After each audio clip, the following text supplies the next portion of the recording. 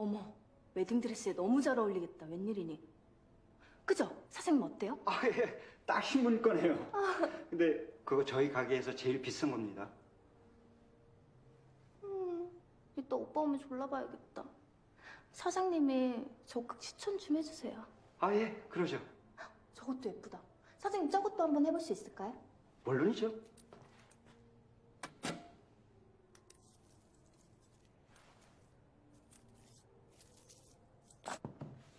춘자야.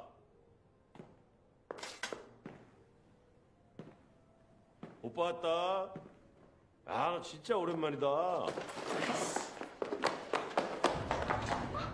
아이고 자이야 이 오빠도 왔어 반갑다 아씨 진짜 씨.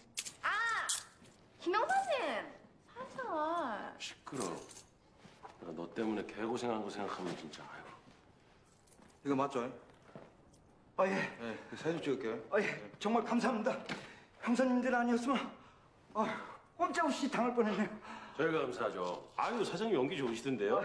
배우 하셔도 되시겠어요. 아유, 아닙니다. 그 무슨 말씀?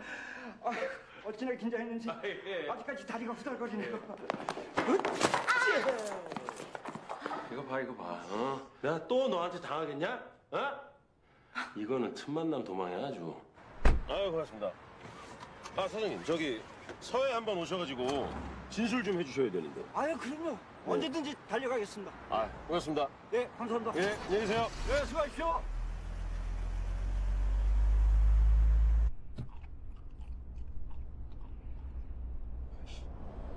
김사님 이거 어떡하죠? 예? 그 저, 저도 모르게 그만 이 형사! 너이 씨. 잘했어, 이 씹새끼야!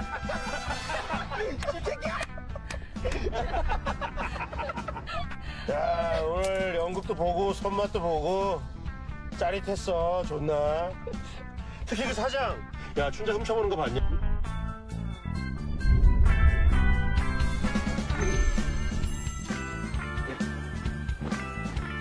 야, 너 아까 왜 춘자라고 했어? 미쳤냐?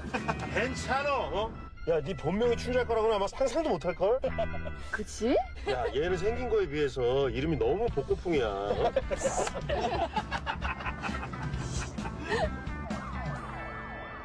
증거가 확실합니다.